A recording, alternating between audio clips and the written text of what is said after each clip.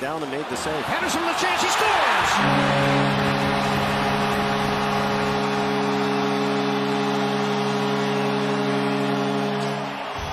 The old Tom Larside, he could stick handle in a phone booth, and you saw it there from Pettersson as he scored on the backhand to get the Canucks on the board.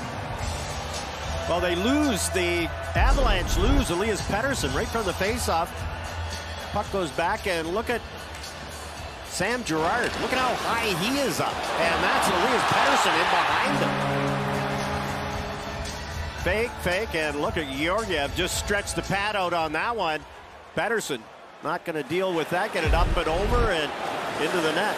Comes back into the Vancouver zone. Well, you can see the defense for the Avalanche as Sam Girard starts reaching for it. Erik Johnson's already out there, and Girard is the backup guy. And instead of staying back with Elias Pettersson, he goes up. And so Pettersson has time to, as you say, stick handle in that phone booth and slide it in.